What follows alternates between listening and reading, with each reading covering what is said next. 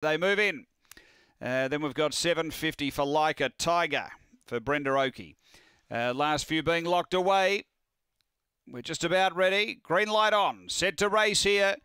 We're over the 531 metres and Yarramundi Beale step fave into 250 at the jump. We're ready.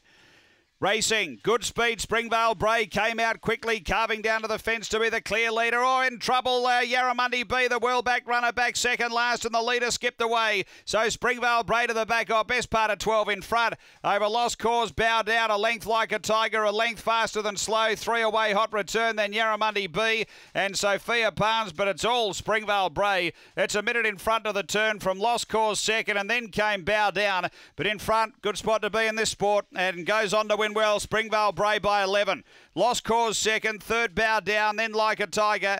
Uh, next, Yarramundi B. Faster than slow. Sophia Palms. And Hot Return. The time here is, uh, gee, it's good. 30 and 55. Big run. Uh, Springvale Bray. A uh, really, really strong performance. Blew them away. Numbers are 5, 2, 3, and 6. Uh, number 5, the winner which is Springvale Brave for Mick Geniotis, has uh, come out and really uh, turned one on here. Second to two, Lost Cause for Don Turner. And uh, third to three, bow down for uh, Peter Wilton. So it's uh, five, two, three, six after race eight here at Gawler Greyhounds.